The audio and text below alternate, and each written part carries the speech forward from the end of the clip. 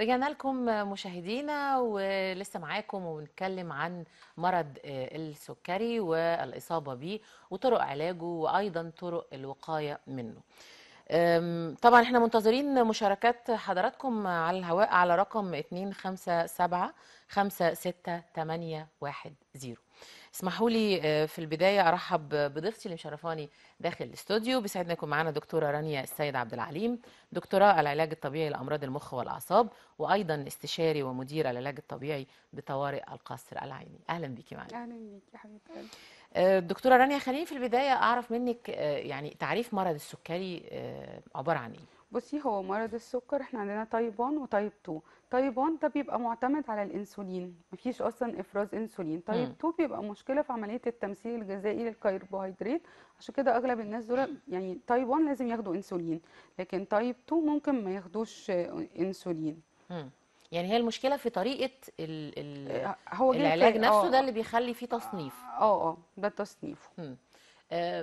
دايما كلمة مرض السكر عندنا من الحاجات اللي بتعرفنا أو بتعمل لنا صورة ذهنية إنه آه، مرض ما فيش شفاء منه بل التعايش معاه هو أمر طبيعي. تمام. بصي هو هو مش التعايش معاه هو مرض آه، يعني إحنا بنسميه في الطب عندنا الصديق العدو. سهل جدا عملتي control على أكلك وصحتي ولا كأنك أصلا عيانة. ولا كأنه مرض. ما هي المشكلة في موضوع ال control على آه الأكل في ناس ما آه. بتعرفش. لا ما بصي آه، آه، نحاول. آه، عارفة انت لما بتبقي طبيعي انك بتعكي غير يعني الدمج أو التلف اللي بيحصل جوه ال system اللي هو أصلا إحنا موضوعنا النهارده هنتكلم عن مضاعفاته. مضاعفات مرض السكر. كل كل ما إحنا ما المضاعفات دي عمالة تقل. يعني فاهمة قصدي؟ إحنا إحنا مضاعفاته. يعني اولها اول حاجة بالنسبة لي أنا يعني وده موضوع رسالة الدكتوراه بتاعتي اللي أنا كنت متخصصة فيه اللي هو التهاب اعصاب الاعصاب الطرفيه لمرضى السكر. آه، يعني إيه التهاب اعصاب طرفيه ده آه، يعني آه، لو هنذكرهم واحدة واحدة التهاب الاعصاب الطرفيه لمرضى السكر ده بيبقى عبارة عن مشكلة في حاجة اسمها ال micro circulation الدورة الدموية الدقيقة.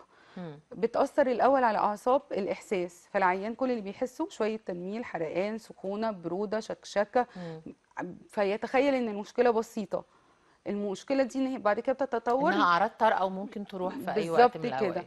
لا مم. المشكلة دي بتتطور مع الوقت تنزل للمرحلة اللي بعد كده توصلنا لفقدان الإحساس. تمام.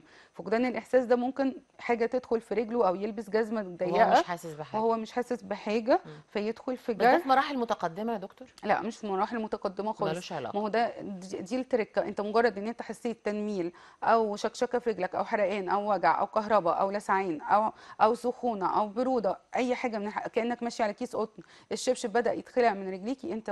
خلاص كده بقيت في خطر دخلنا. في مرحلة فقدان الإحساس إحنا المر- المرحلة الأولى بتاعتنا ألم وتنميل المرحلة الثانية بتبقى تنميل وألم وشكشكة وحرقان سخونة أو برودة. المرحلة وفي حاجة اسمها hyperesthesia إنه الإحساس يبقى عالي كأنه في كهرباء. المرحلة الثالثة نوصل لفقدان الإحساس. المرحلة الرابعة قدم سكري إن هو ممكن العيان يدخل بقى يبدأ يدخل في الجروح ويبدأ يدخل آه، آه،. واصلا جرح مريض السكر بشكل عام ما بيلتئمش بسهولة. آه فده مكان فده مكان عرضة. لأن هو يحصل فيه infection بكتيريا وميكروبات. آه دي صور آه، ده بعد العلاج. هقول ده ده جروح. ه- ه- هنجيلها هقول العلاج بس لحظة وبعد كده نعلق للناس على الصور. آه، بس كده. فاحنا دلوقتي المشكلة عندنا الدورة الدموية الدقيقة دي خلاص يعني يجي العيان يعمل دوبلر يلاقي الدورة الدموية الأساسية شغالة. شغالة ف- فدي كويس. الخدعة. والخدعة الثانية إن هو مش إن الموتور اللي هي الحركة بتتأخر على ما يحصل فيها تلف يكون الدنيا باظت. المرحلة اللي بعد قدم السكريين الشرايين كبيره تتسد أو إن الجرح ده ما يلمش فيحصل تعفن وغرغرينة في الرجل ونوصل للبتر. شوفوا التهاب الأعصاب الطرفيه قد إيه مرض لو لحقناه وعالجناه في الأول قد إيه مرض خطير وقد إيه إذا سبناه قد إيه آه يعني لو هو اتعالج بدري وقينا نفسنا من إن إحنا نفقد جزء من جسمنا طب اللي هو يوصلنا لو لحقناه وعالجناه من بدري تمام. إحنا دايما بنسمع إنه آه، حد حالته اتدهورت في وقت سريع جدا وتم بتر القدم. برافو عليكي. آه، سؤالك حلو. ما هو دي ما هي دي التركة؟ هو في دماغه ده أنا عندي شوية تنميل في رجلي وشوية وشوية وجع مش متخيل إن ده ع- عرض لمرض يوصل للبتر. تمام آه اللي بيحصل إن هو بيبقى عنده إحنا هنتكلم الأول عن عايزة أتكلم عن علاج الأول التهاب الأعصاب الطرفية. وبعدين نتكلم عن الجروح والتطور بتاعها اتفضل ل- لأن إحنا أصلا ممكن نحمي رجلينا إنها ما توصلش لمرحلة الجروح مم. إحنا عندنا في تقنية حديثة جهاز بيطلع آه، موجات ضوئية وحدية اللون ده جهاز أمريكي. آه، آه، ده عبارة عن جهاز بي- بيطلع موجات بطول موجي معين بتزود إفراز مادة اسمها ال nitric oxide. دي بتزود عدد كرات الدم الحمراء والهيموجلوبين اللي موجود في المكان فتزود الدورة الدموية اللي رايحة لل- للعصب. وأجهزة تانية آه، بتزود ال- التئام العصب. ما هو طبقة الميالين بتاعة العصب لأن الدورة الدموية مش واصلة كويس فطبقة الميالين هي كمان بيبدأ يحصل فيها تآكل. تمام؟ فإيه اللي بيحصل؟ لما طبقة الميالين دي بتتآكل آه العصب بقى يبدا العيان يحس بالحرقان والشكشكة نار كهرباء في رجلي يا دكتورة كلام من كل الكلام ده يحسوه العيانين. لحد ما يوصل آه، إحنا المفروض إن إحنا بقى بنعالج الموضوع ده وهو لسه في مرحلة التهاب الأعصاب الطرفية. كده هنزود الدورة الدموية بتاعة الشرايين عن طريق الجهاز ده هنزود الدورة الدموية ونحسن كفاءة مرور الدم داخل الأوردة بجهاز بيعمل على ضغط الدم داخل الوريد وده موجود برضو آه، من تقنيات العلاج اللي موجودة عندنا. آه، بنعمل آه، بنزود التئام العصب عن طريق حاجة اسمها كهرومagnetic ويفز أو electromagnetic waves بطول ب- ب frequency معين. تمام آه لازم يكون التردد بتاعها والكثافة معين بتاعتها معين عشان تعالج لك المشكلة دي. آه وبنعمل حاجة اسمها phototherapy ده بيزود الالتئام من الحاجات الهايلة في ال healing وده جهاز إنجليزي آه وبنقوي العضلات بطريقة معينة بحيث إن إحنا نحمي الرجل. ده كده لو إحنا في مرحلة التهاب الأعصاب الطرفية. لو عايزين نجيب صور الجروح بقى. فرضنا بقى إنه العيان خلاص اتطور وبقى فيه جرح. بنعمل الأجهزة اللي إحنا جرح مش طبيعي يعني. جرح مش طبيعي. بصي التئام في الآخر إزاي؟ بتشوفي شوفي الالتئام دي بدايته بس ده, ده بدايته. ده كانت دي فيها تعفن ولا آه إيه؟ دي خلاص كانت في. بصي إحنا زمان بقى كان في مشكلة. كنا بنعمل كل الأجهزة دي بس ان كيس بزود بعمل العلاج الضوئي وبعمل العلاج بالضغط اللي بيخرج السوائل الزياده اللي في الرجل وبزود الدورة الدموية وبعمل كل ده. بس بشرط إن الجرح ما يكونش فيه ميكروب. دلوقتي الحمد لله كمان بقى ده كده فيه في ميكروب ده كده. فيه ميكروب. برافو عليكي. ده كده فيه ميكروب فده بقى بقى فيه كمان تقنية حديثة إن في منتج ده برضو منتج أمريكي بنحطه على الجرح آه، بيتنضف بس بمية مقطرة ده فيه بقى بيعمل حاجتين هايلين جدا فقدرنا إن إحنا نعالج الجروح كمان اللي فيها اللي حصل كمان فيها تلوث. وننقذ رجلين الناس دي من البتر. أول حاجة بقى التقنية بتاعته معتمدة على حاجتين stem stem cell migration إنه ال- الخلايا الجذعية بتها- بتهاجر من المكان القريب من الإصابة للمكان اللي فيه الإصابة. فده بيساعد على الالتئام. والقصة بقى بتاعت البكتيريا إن هو بيطلع frequency عالي آه، أو vibration عالي بيطلع آه، حاجة اسمها magnetic field بيوصل ل 912 تيرة. ال magnetic field ده الأيونات آه، ده عبارة عن أيونات فضة. أيونات من الفضة. أربع أيونات فضة مع أربع أيونات إيه؟ آه مية. مم. خلاص وشايلين منهم جزيء هيدروجين.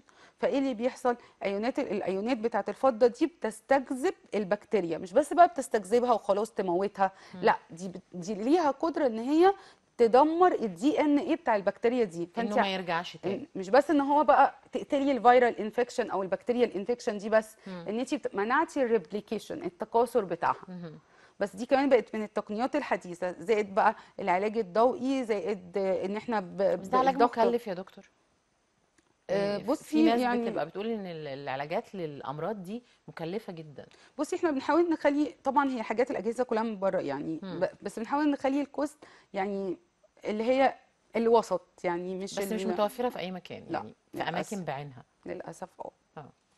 هو أنا كمان أنا نفسي عن أنا عن شخصي عن شخصي أنا جبت الاجهزه دي عشان ده كان موضوع رسالة الدكتوراه وما كانتش موجودة هنا وقعدت. أجيب قطعة من هنا على قطعة من يعني الجهاز من عشان تطبقي اللي بتاعمله عشان أطبق الموضوع ده. من ضمن مضاعفات السكر تاني آه، آه، إحنا لو عايزين نكمل القدم الأول إحنا قلنا بقى خلاص لو التهاب أعصاب طرفيه بسرعة هنعالجه قلنا. هنعالجه إزاي؟ وقلنا الأجهزة اللي بنستخدمها وقلنا لو لو لو جرح هنعالجه إزاي؟ قلنا الأجهزة اللي بنستخدمها مع التقنية الحديثة وإن إحنا الحمد لله دلوقتي بنقدر ننقذ ننقذ الناس من البتر. طب فرضا بقى إنه العيان خلاص وصل معاكي خلاص للبتر هنعمل مم. إيه؟ مم. إذا العيان بقى وصل للبتر في مشكلتين. إيه هم؟ أول مشكلة العيان بيقابلها إحنا عندنا البتر يا إما على حسب بقى الدور إحنا إحنا شرحنا إن في مرحلة إن الدورة الدموية الرئيسية خلاص اتسدت. مم. فخلاص إحنا كده كده في gangrene. فالبتر بتاعنا ده يا إما يبقى تحت الركبة يا إما يبقى فوق. الركبة. تمام؟ طيب. آه وفي لا قدر الله الناس يعني قليل بس شفت ناس كمان وصل البتر للحوض. مم. إذا البتر بتاعنا كان آه، آه، تحت الركبة أو فوق الركبة whatever في مشكلتين بيصادفوا العيان بعد البتر المشكلة الأولانية إنه الدكتور اللي بطر رجله بيبقى بيتعامل مع مجموعة من الشركات فبيروح لشركة ما هماش مؤهلين. آه، ما هماش دكاترة. ما هماش مؤهلين إن هم يأهلوا عيان سكر صحيح تمام مم. بس فغالبا التوجيه بي للأسف الدكتور بيبقى هو كل معرفته بيبقى الشركة جابت له الكتالوج فادوا له الكتالوج يدي العيان اسم بيطبق. الدكتور. اسمه قصدي صاحب الشركة أو كده ويروح مكان مش متخصص فأول ما بيعرفش يستخدم الجهاز. plus بقى إن إحنا وإحنا بنشرح التهاب الأعصاب الطرفية نسينا نقول حاجة مهمة إن هو symmetrical disease طيب يعني اسمحي لي نقولها بعد الفاصل. okay. هناخد فاصل قصير مشاهدينا ونرجع لحضراتكم بعد.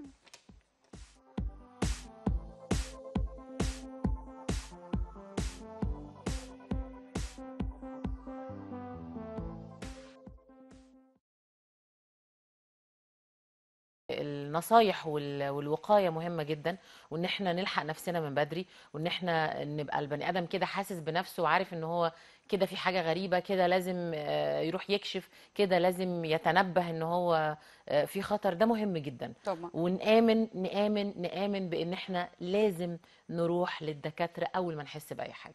لا وصفات ولا تطنيش. ولا آه، أصل فلان خف على كذا وأصل علان خف على كذا كمان يا أسماء يعني صحيح. نشوف ده متخصص في إيه ونروح له صحيح. لأن في حاجات آه، عام.